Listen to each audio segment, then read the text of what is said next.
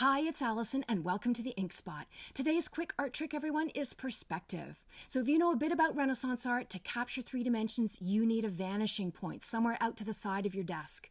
But when I grab a ruler and I try abiding by that vanishing point rule, I get a super technical, very dead drawing. So, the easiest way I've learned to capture three dimensions is focus on the simple shape of the roof, everybody. Draw trapezoids and lots of them. Then drop your line straight down from the corner of those trapezoids to create the sides of each building. So again, trapezoids.